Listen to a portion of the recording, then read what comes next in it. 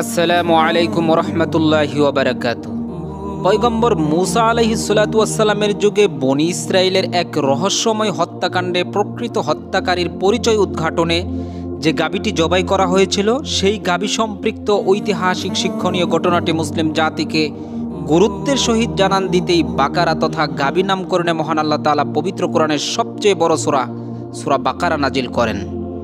অথচ আমাদের অনেকেই বিভিন্ন কাল্পনিক রূপকথার গল্প জানলেও কোরআনের বর্ণিত সেই ঘটনাটি জানি না। এবং কে সেই লোক যে গাবিটির মালিক ছিল? এবং গাবি জবায়ে কি হ্যাকমত ছিল? আমাদের জন্য তাতে কি শিক্ষা রয়েছে? যা অনেকেরই অজানা। তাই অতি সংক্ষেপে মূল কথাগুলো জানতে ভিডিওটি সম্পূর্ণ কন্টিনিউ করুন। মুস্তাদ ইবনে আবি হাতেমে বর্ণিত রয়েছে, বনি ইসরায়েলে এক ধনী লোক ছিল যার কোনো সন্তানাদি ছিল না। তার উত্তরাধিকারী ছিল শুধুমাত্র তার আপন ভাতিজা। তার উক্ত ভাতিজা তাড়াতাড়ি সম্পত্তি লাভের আশায় সে স্বীয় চাচাকে হত্যা করে বসে। তার এই হত্যার দোষ অন্যের ঘাড়ে চাপাতে রাতের বেলা গ্রামের অন্য লোকের দরজার নিকটের লাশটি রেখে আসে এবং সকালে গিয়ে ওই লোকটির উপর হত্যার অপবাদ দেয়। অবশেষে দুই দলে বিভক্ত লোকদের মধ্যে মারামারি ও খুনাখুনি উপক্রম হয়।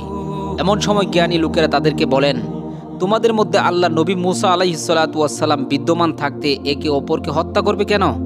তারা উভয় দল সম্মতিক্রমে মুসা আলাইসালাতামের কাছে এসে ঘটনাটি বর্ণনা করেন। সুরাবাকার সাতষট্টি থেকে তেহাত্তরতম আয়াতে এই ঘটনার সংক্ষিপ্ত বর্ণনায় বলা হয়েছে এই বিবাদের মীমাংসার জন্য বনি ইসরায়েলের লোকেরা হজরত মুসা আলাইসাল্লাতামের শরণাপন্ন হল। যেহেতু সাধারণ উপায়ে এ সমস্যার সমাধান করা সম্ভব ছিল না তাই হজরত মুসা আলহিসাল্লাতুয়াসাল্লাম অলৌকিক পন্থায় সমস্যা সমাধানের উদ্যোগ নেন। তিনি বনি ইসরায়েলদের বলেন, আল্লাহ তালা নির্দেশ দিয়েছেন যে একটি গরু জবাই করতে হবে। এরপর জবাই করা গরুর এক টুকরো গোস্ত নিহত ব্যক্তির গায়ে স্পর্শ করলে সে ব্যক্তি জীবিত হয়ে হত্যাকারীর নাম বলে দিবে। তারা এই নির্দেশ শুনে মুসা আলাইসাল্লাতুয়াসাল্লামকে বলল, এ ধরনের পরামর্শ দিয়ে তুমি কি আমাদের সাথে ঠাট্টা করছ? হজরত মৌসা আলহিসাল্লাতুয়াসাল্লাম জবাবে বললেন, ঠাট্টা বিদ্রুপ করা অজ্ঞ লোকদের কাজ।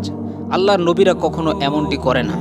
যদি হত্যাকারীকে চিহ্নিত করতে চাও, তবে নির্দেশিত এই কাজ করতেই হবে।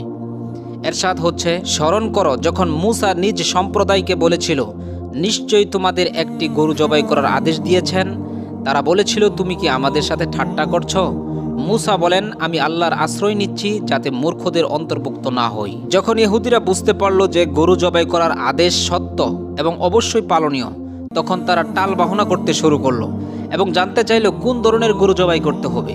যদিও প্রশ্নের মাধ্যমে অনেক অস্পষ্টতা দূর হয়, কিন্তু ইহুদিরা এ ধরনের প্রশ্ন তুলে মূলত দায়িত্ব পালন না করার চেষ্টা করছিল। তাই তারা অভদ্রভাবে প্রশ্ন উত্থাপন করতেই থাকে। এরশাদ হচ্ছে, বনি ইসরায়েলরা মোসাকে বলেছিল, তুমি আমাদের জন্য তোমার প্রতিপালককে স্পষ্টভাবে জানিয়ে দিতে বলো যে তা কী রকম গরু। মুসা বলল, আল্লাহ তালা বলেছেন, সেই গুরু বৃদ্ধও নয়, অল্প বয়স্ক ও শাবকও নয়, বরং মধ্যবয়সী। অতএব তোমরা যেমন আদেশ পেয়েছ, তেমনই পালন করো। এবার অবাধ্য ইহুদিরা গরুর রং কেমন হবে জানতে চাইল। অথচ আল্লাহ তালার প্রথম নির্দেশে গরুর কোনো নির্দিষ্ট রঙের কথাও উল্লেখ ছিল না। যদি রঙের বিষয়টি গুরুত্বপূর্ণ হতো, তবে আল্লাহ তালা প্রথম নির্দেশেই তা উল্লেখ করতেন। কিন্তু আল্লাহ তালা তাদের অজুহাত সৃষ্টির পথ বন্ধ করে দেওয়ার জন্য পরে নির্দিষ্ট রঙের কথা উল্লেখ করে আয়াত নাজিল করেন।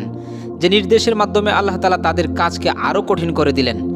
এরশাদ হচ্ছে, তারা বলল, তুমি আমাদের জন্য তোমার প্রতিপালকের নিকট প্রার্থনা করো।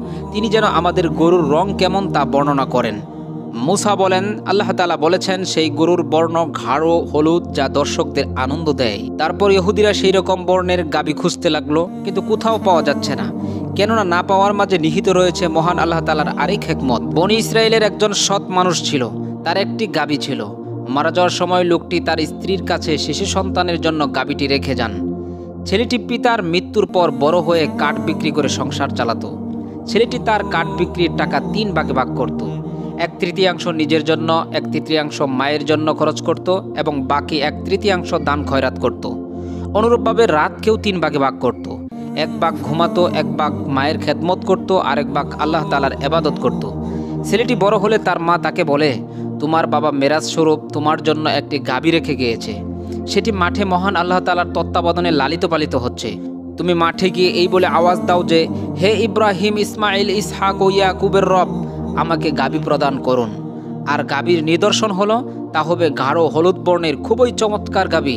যুবক মাঠে গিয়ে দেখল গাভীটি জমিনে বিচরণ করছে এবং মায়ের নির্দেশে ডাক দেওয়ার সঙ্গে সঙ্গে গাভীটি তার সামনে চলে আসে। সুবাহান আল্লাহ এবার যুবক গাভী নিয়ে মায়ের কাছে চলে আসে। মা তাকে বলে, তুমি তো গরিব দিনে কাঠ সংগ্রহ করো আর রাতে এবাদত বন্দেগি করো। এতে তোমার প্রচুর পরিশ্রম কষ্ট হয়। তাই ভালো মনে করছি তুমি এটি বিক্রি করে ফেলো। ছেলে জিজ্ঞেস করে, কত দামে বিক্রি করব। মা তাকে তৎকালীন বাজার মূল্য তিন দিরহামের বিক্রির নির্দেশ দেয় এবং বলে যে, বিক্রির পূর্ব মুহূর্তে ফির আমার কাছে জেনে নেবে। যুবক মায়ের নির্দেশ মোতাবেক গাভীটি বিক্রির জন্য বাজারে নিয়ে যায়। আল্লাহ তালা একজন ফেরেস্তা প্রেরণ করেন। ফেরেস্তা গাভীর দাম জিজ্ঞেস করতেই যুবক তিন দিরহাম দাম চায় এবং বলে, শর্ত হলো আমার মাকে জিজ্ঞেস করে বিক্রি করব। ফেরিস্তা বললেন, ছয় দিরহামের বিনিময়ে আমার কাছে গাভীটি বিক্রি করে দাও, জিজ্ঞেস করার কোনো প্রয়োজন নেই। যুবক বলল, তুমি যদি গাভীর সমপরিমাণ স্বর্ণও আমাকে দাও, তবু আমি আমার মায়ের অনুমতি ছাড়া গাভী বিক্রি করব না। কথা বলে যুবক মায়ের কাছে গমন করল এবং ঘটনা বর্ণনা করল। মা যুবককে বললেন, উনি তো ক্রেতা নয়, বরং ফেরিস্তা সুহান তোমার পরীক্ষা নেওয়ার জন্য এসেছে এবং তাকে জিজ্ঞেস করো, আমরা এই গাভীটি বিক্রি করব কিনা। যুবক ফেরিস্তার নিকট গাভীটি বিক্রির পরামর্শ চাইলে ফেরিস্তা বলেন, এখনই তা বিক্রি করো না। অতপর ফিরিস্তা বনি ইসরায়েলের নিহত ব্যক্তি ও হজরত মুসা আলহিসাল্লামের সঙ্গে তাদের সম্পূর্ণ ঘটনা যুবককে জানিয়ে বলেন, এখনই গাবি বিক্রির প্রয়োজন নেই গাবি নিয়ে বাড়িতে চলে যাও। বনি ইসরায়েলের লোকেরা যখন এ গাবি দেখবে, তখন তারা এটিকে খরিদ করে নেবে। তুমি তাদের নিকট গাবির চামড়ার পরিপূর্ণ স্বর্ণ মুদ্রার বিনিময়ে গাবিটি বিক্রি করতে পারবে। সুবাহান আল্লাহ ওদিকে বনি ইসরায়েলরা গাবি খুঁজতে খুঁজতে হয়রান, পেরেশান।